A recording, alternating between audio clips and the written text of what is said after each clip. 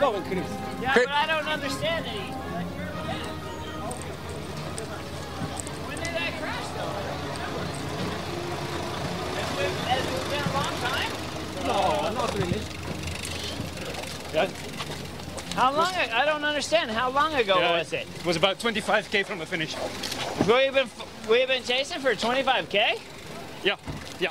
Oh man, I'm fucked. Yeah. Um, he could finish the stage.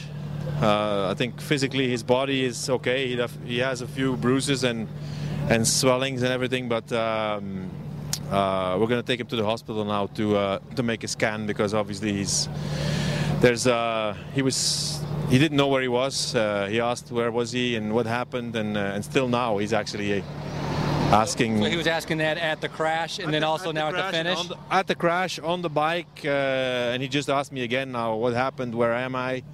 So um, we need to take him to the hospital and uh, and make sure that uh, they take a proper scan and and we'll see. Um, I don't understand. Did I finish then? or no? Finish, you did finish. it was scary. scary.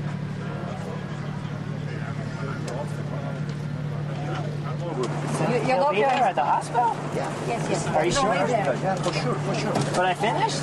Yes. Finished, yeah, right, now food will finish. Okay, I don't understand, but is there a big bruise? Is there, did, did I hit my face on something? Yeah, you have a small injury, small bounce, but then not